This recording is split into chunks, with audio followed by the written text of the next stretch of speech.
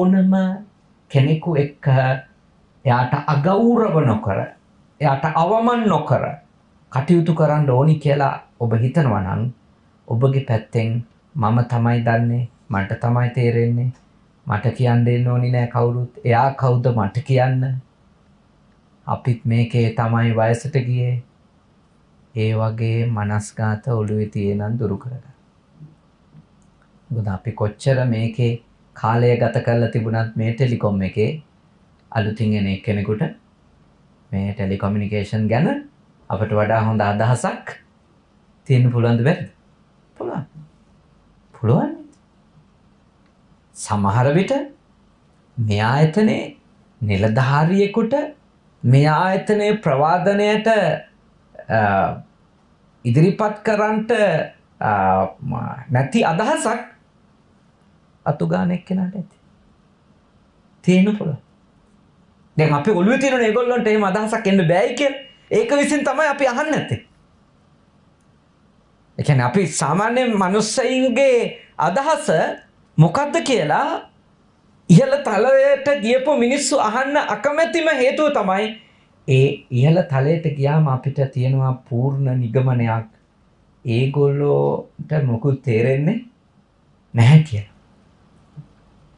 මම ඔබට සිහි කරනවා ඔබ ගැනවත් මම මම ගැනවත් ඒ වගේ සීමාව ඉක්මවපු ඇස්තමේන්තුවක් හදන එක එච්චර හොඳ දෙයක් නෙමෙයි. අපිට ගොඩාක් දේවල් වර්ධින්න පුළුවන්. ගොඩාක් දේවල් මගහැරෙන්න පුළුවන්. ගොඩාක් අය අපිට දේවල් වාර්තා කිරීම නවත්තන්න පුළුවන්. අපි මොකද ආපු ගමන් ඒක පහත් කළා දානවනේ. නේද? ආපු ගමන් ඒ ඒ අදහස කපාහරින්න තලන්න පොඩි කරන්න හදනවනේ. එතකොට අපිට පැවැත්ම නැති වෙයි. ඒ හින්දා බෞද්ධයෝ වන ඔබ ආයතනයක් හෝ ගෙදරක් හෝ දියුණු කරගන්න හිතනවා නම් ඒ ගාරවෝච සහ නිවාතෝචනේ ගරු කිරීමයි අනතිමානි බවයි. අතිශයින් වැදගත් බව පිළිගන්නවා. ගොඩාක් අයට ඔක්කොම භෞතික දේවල් ගෙවල් වලට ආයතන වලට ගේන්න පුළුවන් වෙලා තියෙනවා. හැබැයි අවාසනාවකට ගෞරවය හදාගන්න බැරි වෙලා තියෙනවා. මාන්නය අඩු කරගන්න බැරි වෙලා තියෙනවා. ඒ නිසා අර භෞතික මෙවලන් සියල්ල තිබුණත් සියලුම භෞතික උපකරණ ටික තමන්ගේ වටේ බොහෝම ඉහළ මට්ටමෙන්ම අලුත්ම දේවල් වලින් තිබුණත් ඒ තැන්වල කිසිම දියුණුවක් දකිින්ට ලැබෙන්නේ. මිනිසුන්ගේ මූුණේ හිනාවක් දකිින්ට ලැබෙන්නේ. මිනිසුන්ගේ කාර්යක්ෂම බවක් අපට පේන්ට නෑ. හේතුව බැලුවම ඒ ආයතන ඇතුළෙත් ඒ ගෙවල් ඇතුළෙත් තියෙන මානසික ප්‍රශ්න. මාන්‍ය අධික මිනිස්සුනං ඉන්නේ ඒ මිනිස්සුන්ට ගමනක් යන. අපිට අපේ ජාතියට ඉතින් නේද. වැඩිපුර මෙතන ඉන්න සිංහලායන නේද. පරාද කියන්න බෑ මොනවා නැතත් මාන්නෙනේ. කොච්චර මාන්න තියේද අපිට තියෙනවා උඩ රට මාන්න. උඩ රට කට්ටියට. පහත රට මාන්න. පහත රට කට්ටියට අපි දකුණනේ. ළඟට අපි නුවර ඒ මාන්න වෙනම තියෙනවා. ඊළඟට අපි තරම් ලෝකෙ උත්තම වෙන කට්ටියක් නෑයි කියලා හදාගත්තු වෙනමම මාන්නයක් තියෙනවා. ඊට අමතරව අපිට තියෙන මාන්න අතර ප්‍රධානයි මේ අපි ඉගෙන ගත්ත ඉස්කෝලවල මාන්නේ ඒ එක නන් තියෙන ඉස්කෝලවල නමින්ම වෙනම එකක් ඔළුවට ඇවිලති. අපි අරකෙන් ආවේ අපි මේකෙන් ආවේ අපි අර අර මේ ආදි ශිෂ්‍යයෝ අරකේ ආදි ශිෂ්‍යාවෝ එහෙම කියලා වෙනම එකක්. ඊළඟට යුනිවර්සිටි මාන්නේනේ. අපි පේරාදෙනිය අපි මොරටුවේ අපි කොල්ලඹ ඒක වෙනම බේත් ගන්න ඕන මට්ටමේ ලෙඩක්. ඒක පුදුම විදියට ඒ ලෙඩේ වැඩ කරනවා. ඒ කියන්නේ පෙරදිනියෙන් ආපු එක්කෙනෙකුගේ අදහස කොච්චර හරි එකක් වුණත් මොරටුවට දිරවන්න නැති වෙන්න පුළුවන්. මොරටුවේ අයගේ අදහස කොච්චර හරි එකක් වුණත් පේරාදෙනියට ඒක හරියන්නේ නැහැ. මොකද ඒක පේරාදෙනිය එකක් වෙන නිසා. ඒක ඒ ගලහ පැත්තෙන් ආව නම් හරියනවා ඒක. ඒ ඒව ඇත්ත වශයෙන්ම කිව්වොත් බේත් ගන්න තරමේ ලෙඩ. ඒගොල්ලෝ පින්සිට්ටවේ සයිකියාට්‍රික්ලා හම්බෙන්න ගිහිල්ලා. ඒ එතකොට මොකක් හරි පෙත්තක් දෙයි ඔය තත්ත්වය ටිකක් කන්ට්‍රෝල් වෙන්න. ඕයි ඕනවට වැඩිය ගියොත් නේද? අපිට අපි ඉගෙන ගත්තු තැන ගැන ගරුත්වයක් අගයක් තිබුණ කියලා ප්‍රශ්නයක් නැහැ. අපි විශ්වවිද්‍යාල ගිහින් තියෙනවා. අපි PhD අරන් තියෙනවා. හැබැයි ඒවා ඉතින් ඒවා ඒ සබ්ජෙක්ට් එක ගැනනේ. ඉතින් සබ්ජෙක්ට් එක ගැනම දන්න තව අය ඇතිනේ නේද? කොච්චර ඉන්නවද? මට කලින් බුද්ධ ධර්ම ගැන PhD ගත්ත කොච්චර හාමුදුරලා ඉන්නවද? ඉතින් මම කවදාවත් හතරේ හිතුවොත් එහෙම ආ දැන් මැදගොඩ අපේ සාන්ද්‍රෝයි මම සමානයි. මනස්කාතයක් ඇයි? ඒ හාමුදුරුවෝ PhD එකක් අරගන්නේ මට වඩා අවුරුදු 5කට කලින්. එතකොට ඒ හාමුදුරුවෝ ඒ ඒ කාලේ ඉඳලා අද දක්වා කොච්චර දේවල් ගැන අප්ඩේට් වෙලා මම හිතා ගන්න යන්න හොඳ නෑ. ආ දැන් එයයි මා අතර කිසි වෙනසක් නෑ. එහෙම හිතා ගත්තු ගමන් එතනම මම ඉගෙන ගන්න එක නවත්ත. එතනම මම අහන් ඉන්න කැමති වෙන්නේ නැති වෙනවා. එහෙනම් මම ඔබට යෝජනා කරනවා මාන්නේ තරම් සිංහල ජාතිය බෙදලා නෑ වෙන මොකක් නේද? කුලක් තියෙනවා ඒ අතරටනේ. කුල හොරෙන් හොයා ගන්න ඕනේ සර්නේම් එක. ඒක පුදුම ආසයි ආමුදුරුලත් එහෙමයි ගිහියොත් ඔක්කොටම. ඒක හොයාගත්තම් පුදුම සන්තෝෂයක් තියෙන්නේ. අපේ එකෙද්ද කියලා හොයාගන්න.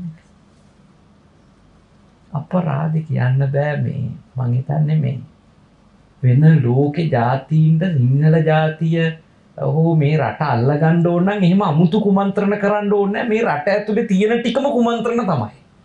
ඒ කියන්නේ මොකද එකතු නොවෙන්න දේවල් ඔක්කොම ටික අපි හදන්න නැත්. කුල විදියට ප්‍රදේශ විදියට නේද? කල්ලි පාට පක්ෂ මේ ඔක්කොගෙම අපි දරුණු මාන්න එකයි දරුණු හීනමාන එකයිනේ. දෙකම තියෙනවා. දරුණු මාන්නෙත් තියෙනවා ඒ වගේම දරුණු විදියට හීනමාන. මේ ප්‍රශ්නය විසඳ ගන්න ඕන. තමන්ගේ අවුලක් තියෙනම් ඒක හොඳට තේරුම් ගන්න. මට හීනමාන එන තැන මම හොයා ගන්න මට මාන්න එන තැනත් මම හොයා ගන්න ඔබ ඒක කොච්චර දැක්කත් වැඩක් නැහැ. මම ඒක දකින්නේ නැත්තම්. මම ඒක දැක්කොත් තමයි මට ඒකට අදාළ පිළිතුරු හොයාගන්න. ඒ හින්දා අපි බෙදෙන්නේ නැතුව නේද? අනිත් එක්කෙනාව කොන් කරන්නේ නැතුව අනිත් එක්කෙනාව පහත් කරන්නේ නැතුව කටයුතු කරන්නට අපේ මනසේ දියුණු කරන්න ඕනි ධර්මය තමයි නිවාතෝච අනතිමානී බව. අනතිමානී බව එක අතිශයින් වැදගත් ආයතනටත් වැදගත් ගෙදරටත් වැදගත්නේ. ගෙදරක වුණත් අසාර්ථකත්වයට අපේ මාන්නක්කාරකම බලපාලද නැත් ගොඩාක් බලපාල තියෙනවා සල්ලි කෙනෙක් කෙනාට ලංකාවේ ගෙදරක ලොකු ඊගෝ එකක් තියෙනවානේ. ඒ කියන්නේ ගෙදරට සල්ලි කෙනෙක් කෙනාට ගොඩාක් ලොකු මාන්නයක් තියෙනවානේ. අත වශයෙන්ම යාගේ ගාව අනිත් අය යම්කිසි දුරකට බයයිද නැද්ද? බයයි. මොකද ඊටාම හොඳ අදහසක් ඉදිරිපත් වුණත් සමහර වෙලාවට ගෙදරට මුදල් ගෙන එන කෙනාගේ අදහසට වඩා ඒක වෙනස් එකක් නම් මුදල්ගෙන එන එක්කෙනා ඒ අදහස යටපත් කරලා දානවා ඕනවට වැඩිය කියවන්න එන්න එපා. කාලැඳලා ඉන්නේ මගෙන් බව මතක තියාගත්තොත් හොඳයි කියලා. එහෙම සිංහල මිනිස්සු කියේ. ඒකනේ සිංහල ගෙවල් වල කාන්තාව වෙනම සල්ලි හොයන්නත් පිරිමියා වෙනම සල්ලි හොයන්නත් ලොකු තරඟකයි. මොකද ඒ දෙන්නගෙම යට හිතේ වැඩ කරනවා මාව මම යටත් වෙන්නේ සල්ලි ඇතුලේ කියලා. එහෙනම් ඒගොල්ලෝ තරංගයක් දුවමින් ඉන්නවා වැඩිම සල්ලි තියෙන කෙනා වෙන. වැඩිම සල්ලි තියෙන කෙනා වුණාම යටිහිතේ තියෙන ආශ්වාදයක් අනිත් අය මට යටත් වෙනවා කියලා. ඒකනේ කිසිම සාකච්ඡාවක් කරන්න බැරි. ඕකම තියෙන ඊටමයි තියෙ කෙනාටනේ. ඔප්පුව නමට තියෙන කාගෙද යාගේ ඊගෝ එක ගොඩාක් බලවත් ලංක අපේ රටේ ඇත්ත වශයෙන්ම කිව්වොත් අපිට භාග්‍යවතුන් වහන්සේගේ ධර්මයේ හෙවණැල්ලවත් වැටිලා නැහැ කිව්වත් කමකුත් නැහැ.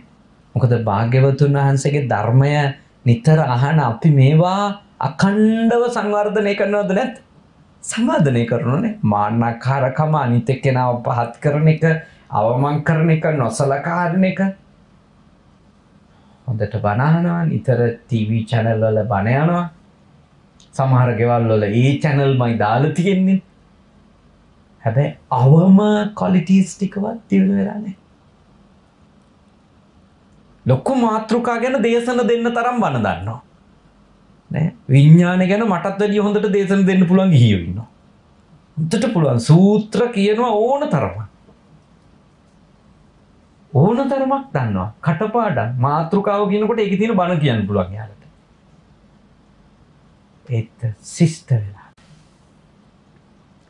මතක තියාගන්න අපේ ධර්මය කියන එක හරි කොච්චර හරි ඇහුවත් අපේ ප්‍රශ්න විසඳෙන්නේ නැහැ ඒක සිහිනුවනින් අහලා අහපු දේ සිහිනුවනින් ධාරණය කරගෙන ධාරණය කරගත්තු දේ සිහිනුවනින් භාවිතා කරන්න.